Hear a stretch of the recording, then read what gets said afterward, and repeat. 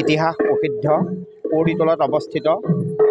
স্বৰ্গদেউ শিৱসিংহৰ ৰাজত্ব কালত প্ৰতিষ্ঠিত এই দেৱালয় ভাগে আজি প্ৰতিষ্ঠা কালৰে পৰা ইয়াত তিনিভাগ উৎসৱ ভগৱান শ্ৰী শ্ৰীকৃষ্ণৰ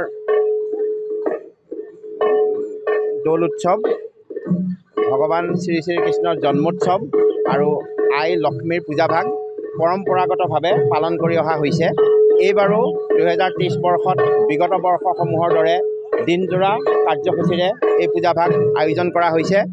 আমাৰ পুৱাৰ পৰা কাৰ্যসূচী শুভাৰম্ভ হৈছে। পুৱা ইয়াতেই ৰাতি স্থানীয় ৰাইজৰ দ্বাৰা উষা কীৰ্তন।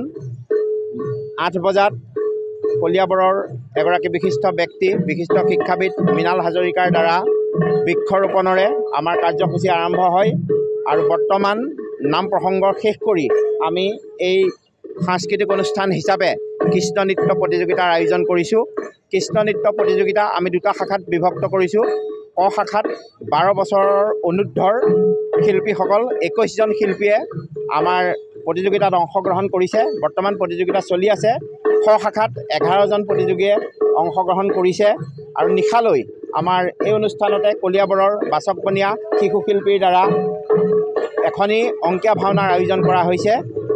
কাৰ্যসূচীসমূহত আপোনালোকে আমাক আহি আমাক যি উৎসাহ যোগালে আপোনালোকলৈ আমি আন্তৰিক ধন্যবাদ জনাইছোঁ।